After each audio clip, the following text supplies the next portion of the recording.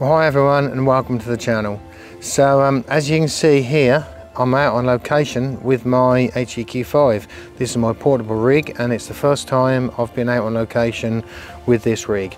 I've been out here before with the DSLRs but not this um, deep sky setup.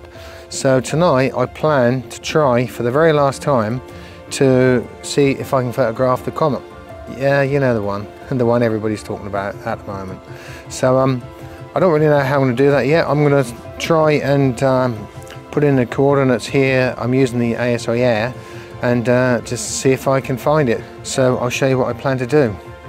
So what I plan to do is using this app here that's called uh, the Sky Live.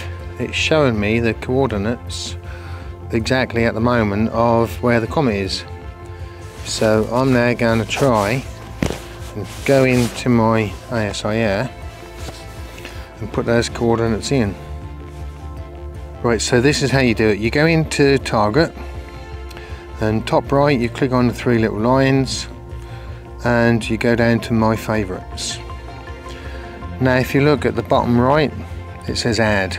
So click on add and here and you can put in the RA and the date of the comet or whatever it is you want to photograph if it's not already in the ASI catalogue. So here uh, right ascension 17 hours 8 minutes and 23 seconds. I've got to do this quickly because this is obviously moving all the time. Now the Dec is 03 and 3 minutes 24 seconds. Okay that's done that's in. So now I'm going to try and go to right. So the rig is now moving around to those coordinates that I've just put into the ASI Air so let's see if it can actually find this comet. I'm just going to put the light out and uh, we will see. It's very low. I'm hoping it's going to find it. So he's trying to center the target now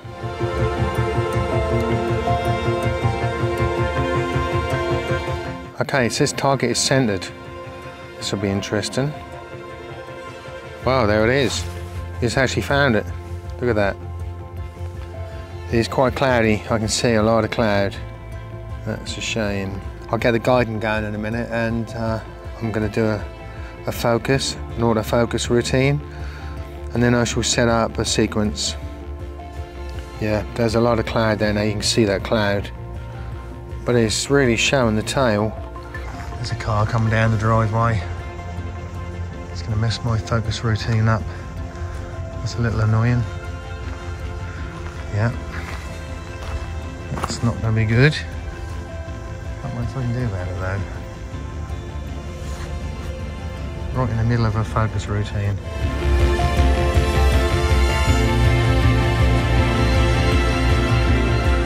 Oh dear. That doesn't look right. I hope it's all itself out. Yeah, that's starting to look better. We're back to complete darkness again. I'd say we're nearly there. I'm going to set up uh, a sequence in the auto run here. So if you click on where it says preview and then auto run, click these three little lines here and I've got a sequence already set up that's ticked exposures can be 120 seconds, gain 100, repeat 30 and hit OK and let's go back to this screen and hit start. So I've, I've now started a sequence going of 30 subs at 2 minutes. Would you believe it? I just started the sequence going. There's another car coming down on the very first sub. It's ruined that. What a nightmare. Is the most traffic I've seen down this lane in a long while. Well, by the look of that, I don't think I'm going to get any more. That's 10 of 30 and I've lost the comet completely in the cloud there and uh, stars, well they're not stars, they're little lines. It's guiding at 1.03 but there's so much cloud it's just playing havoc with it. I really don't think I'm going to get any more out of this. I'll let this last sub finish another 52 seconds. Um, and then I think I'm going to pack it up because that cloud I think is getting thicker. It's not going to get any better. So um yeah it's unfortunate. I tried.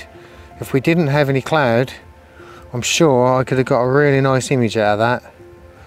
But anyway um, I've shown you how to put in the coordinates for a target that's not in the ASIAIR catalogue. It's quite easy to do. I've done it before. I've not done it with a Comet before, but it actually works, so that was great. So yeah, it's definitely now time to pack up. I've stopped the rig. I'm now going to send it back to the home position and I'm going to pack that up. There's no point in continuing to take uh, images because there's just so much cloud around. I actually got probably eight three minute subs. I'm gonna have to try and stack the eight that I've got and hope that that's enough to get a nice image. So I know this was a really short video and thanks so much for watching. This was really unplanned actually. I didn't know that I was going to be bringing this rig up right until the last minute.